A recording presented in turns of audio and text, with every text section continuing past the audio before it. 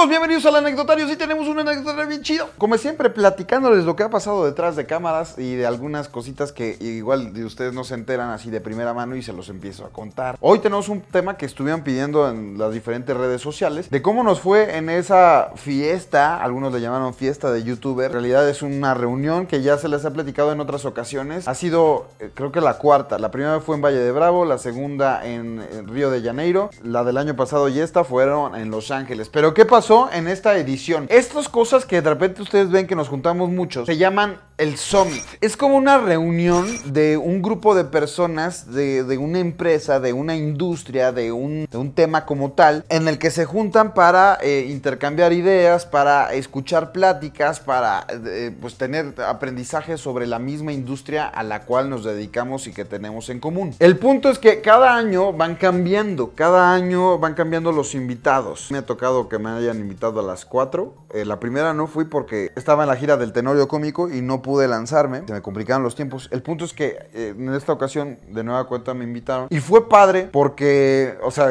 es, una ironía lo que voy a decir, es una, una paradoja. Porque está padrísimo que inviten nuevos talentos, nuevos youtubers. Y a la vez estoy muy contento de que haya repetido. Porque fui de los pocos que repitió. Este año, comparado con los que fuimos el año pasado, solamente estábamos Dayan Hernández, Ami Rodríguez y Sofía, Mad to Me y los polinesios también. Todos los demás eran prácticamente nuevos. Estoy hablando de los que eh, de los hispanohablantes, porque hay otra banda que, que es más de la mitad de los brasileños. Brasil, igual nosotros por el idioma estamos como divididos con ellos. No, no conocemos al 100% y no estamos tan relacionados con lo que se está haciendo, pero Brasil es una bestialidad de, de creadores de YouTube. Hay una gran cantidad de creadores y de público. Está muy cañón lo que se hace ahí, entonces este es un summit latino. Yo diría, están incluidos los brasileños, pero más bien estamos incluidos los hispanohablantes porque eh, creo que son 60% de brasileños y todos los demás pues ya este, somos de diferentes partes del continente. Inclusive ahora eh, metieron algunas personalidades que viven en Estados Unidos, creo que hacen mucho contenido en español. Eh, no sé si vive en Estados Unidos, pero ella es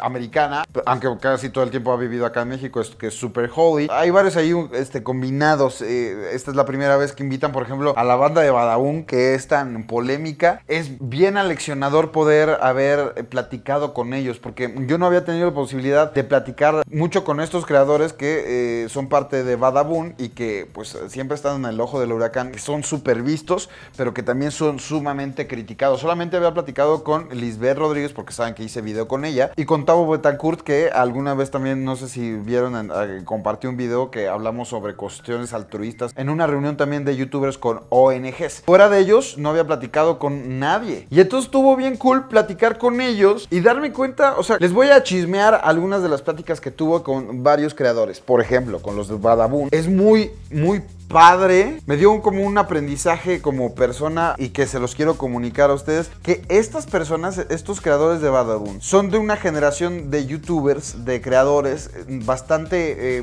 nueva o reciente. Pero todos ellos crecieron como ustedes, como muchos tal vez de los que me estén viendo en este momento, viendo a estas primeras generaciones de youtubers crear su contenido y un poco, eh, voy a atreverme a decir, hasta admirando a esas personas y deseando y soñando con ser como ellos y crear cosas como ellos en las redes sociales. Justo como muchos de ustedes lo están pensando a la hora de ver a su youtuber favorito decir, puta, yo sueño con viajar por el mundo, sueño con mostrar mi talento, sueño con compartir mis ideas. Todos ellos tienen eso contigo en común y es muy curioso e irónico que mucha gente del público que le está tirando mierda a Badabun son exactamente iguales a ellos. ¿Me explico? Tienen los mismos sueños, nada más que bueno, los de Badabun ya les tocó ahora eh, cumplirlos. Eh, les toca ahora estar en esta y otras plataformas compartiendo su contenido. Y bueno, muchas personas que les tiran mal pedo están en el camino y están intentando. Y a lo mejor pueden estar en algún momento cambiando los papeles, ¿no? Ellos estando en el ojo del huracán y siendo criticados por otra nueva generación que venga o una generación contemporánea a ellos, pero que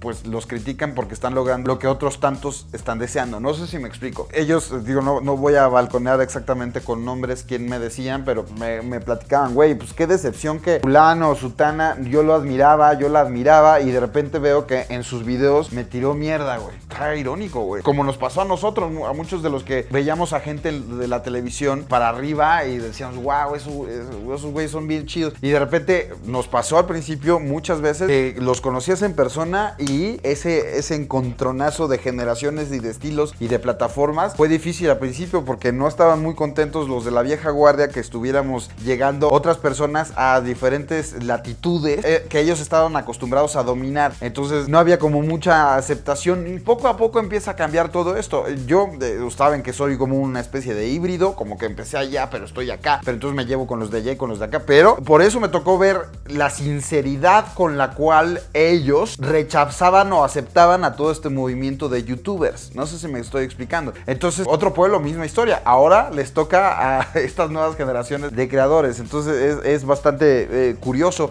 Eh, también fueron invitados por primera vez los Rulés, unos tipos que han estado rompiéndose la cara desde hace mucho tiempo, que han estado siempre en el mundo del espectáculo, en el teatro específicamente y otras tantas cosas. Y me dio gusto ver cómo, o sea, yo, yo por ejemplo, a, Jorge Ansaldo, eh, la primera vez que como que yo lo ubiqué fue cuando yo estaba haciendo la gira del Tenorio y él estaba haciendo algunos contenidos para eh, la parte digital de la compañía teatral. Y entonces me pedía algunas entrevistas, etcétera, y ya se las daba y él como que las organizaba y demás. El punto es que me encanta ver esas historias en las que seguramente él ya tenía el chip en la cabeza de, güey, yo tengo que estar ahí, tengo que echarle ganas para tener mi propio contenido. Pum, pum, pum, le pegó y le pegó, le pegó. Eh, hasta que ahí ya está en el mapa y me consta que trabajan cañón, Diego y Jorge, con todos los rulets. Y ahora los incluyeron. Otro que también la rompió cañoncísimo fue Alejandro Salomón. Salomundo, Salomondrín, como ustedes lo quieran llamar. Es eh, buen brother. Eh, desde hace un rato ya, pues, este,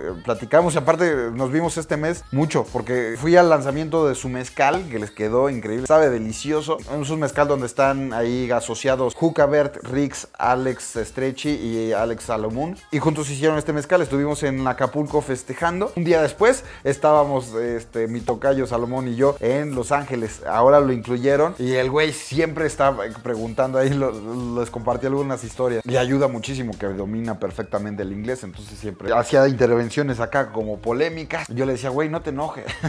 es pregunta o es conferencia, nada, pero siempre aportando y, tomando el liderazgo del, Summit. Estuvo bien chido. Los expositores fueron diferentes personalidades de, YouTube que están como detrás de cámaras, que nos eh, mostraron algunas cosas que nos pueden ayudar como creadores. Y dentro de las personalidades como conocidas que fueron, estuvieron por ahí los de Slowmo. Eh, ¿Has visto e, ese canal que, se dedican a hacer cosas como de slow motion, explotar cosas y demás? Y el buen Pitbull. Join me in welcoming Mr. Pitbull. Mr. Worldwide.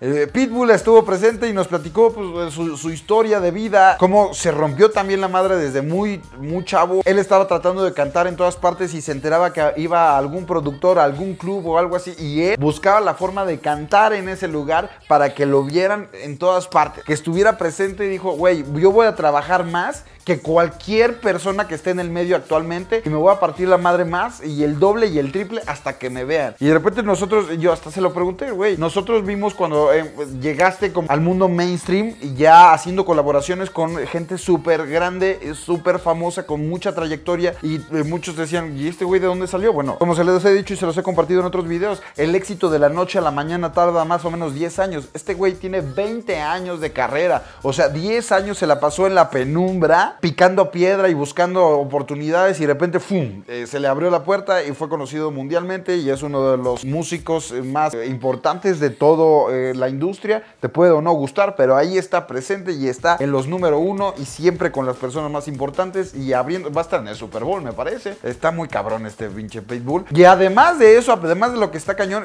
el año pasado les compartí que fueron este, Casey Neistat, James Corden, Anita, las Kardashian. Hubo como más personas Pero esas personalidades, en términos generales, pusieron un poco una barrera entre los youtubers y él y esa personalidad. Casi nadie se pudo tomar fotos el año pasado con estos cuates. Aquí dijeron, vamos a organizar una foto grupal. Y entonces como que todo el mundo empezó a agarrar el mejor lugar para ver si podía tocarle este, junto a Pitbull. Y, y nos toman la foto grupal. Y entonces dijeron, bueno, pues tendremos esta foto del recuerdo y ya. Pero no, güey se quedó ahí, nada de salir corriendo como les pasó a algunas otras personalidades del año pasado que salían corriendo. ¿Por qué? Pues precisamente para eso, para que nadie los estuviera pidiendo fotos y demás. Aquí, Pitbull, después de tomarse esa foto, todavía eh, felicitó a Diego porque fue su cumpleaños. Yo fui como de los primeros que me acerqué y le dije, oye, ¿me puedes regalar una foto? Sí, claro. Primero me tomé una foto así con mi bonita cara nada más. Y yo pensé que ya se iba a ir. Y la gente se empezó a acercar uno a uno, uno a uno a tomarse fotos con Pitbull.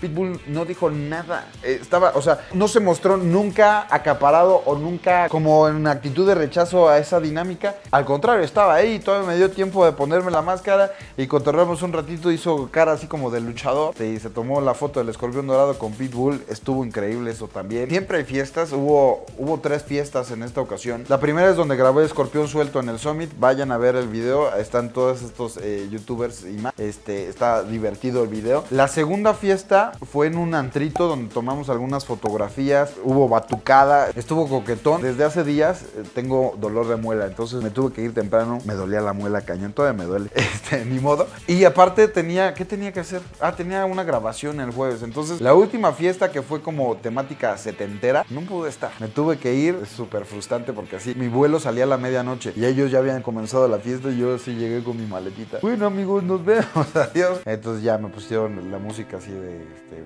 la música de violines mientras me retiraba y se cerraba el elevador y ya me fui. Ya no, ya no eché la fiesta, pero bueno, todo el mundo se la pasó muy bien, me dicen. En todo este proceso, pues tuvimos la oportunidad de platicar entre todos. Todos bien chidos, o sea, hay unos que tienes más empatía con otros, hay otros que pues, yo nada más como que los saludaba así como de, o sea, nadie me los presentaba. De repente me cuesta trabajo, más allá, cuando traigo la máscara, pues me vale madres, ¿no? Cuando no, eh, eh, es, es difícil de repente acercarse con ellos. Super Holly nunca la había tratado y ahí súper linda conmigo. Fueron los, los escabecha, bueno, los escabecha habían ido eh, hace dos años y ahora nada más vino Brian, perdió el avión. Pero quise compartirles este anecdotario para que la moraleja sea, sobre todo en este mundo en el que eh, siempre están preguntando, oye, ¿qué tengo que hacer para ser youtuber? Haz un video, güey. Súbelo. Estoy pensando, no estés pensando nada, hazlo. Ningún cineasta, su primer película, su primer trabajo ha sido una película, un largometraje que ganó el Oscar como mejor película. No, se equivocó 400 mil veces para que pudiera lograrlo. Ningún corredor en la primer carrerita que se aventó ganó una medalla de oro olímpica. No, perdió 400 veces, güey. Y lo fue mejorando hasta que lo logró. Entonces, hazlo. Si quieres estar en este mundo de YouTube o en el mundo que tú quieras, no importa a qué te dedicas, empieza a hacerlo ya. Tarde que temprano las cosas se acomodan y si tú tienes el suficiente tal, la combinación de talento,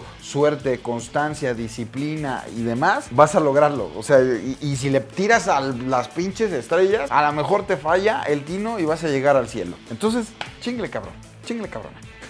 Los quiero mucho, espero que me sigan en las redes sociales y que le pongan like a este video, que lo compartan por el mundo. Y si quieres otro anecdotario, ya sabes, te invito a que comentes acá abajito en la cajita donde puedes estar poniendo lo que se te pegue tu regalada gana. Y yo lo leo y obviamente te voy a hacer caso. Nos vemos en el cine. Bye.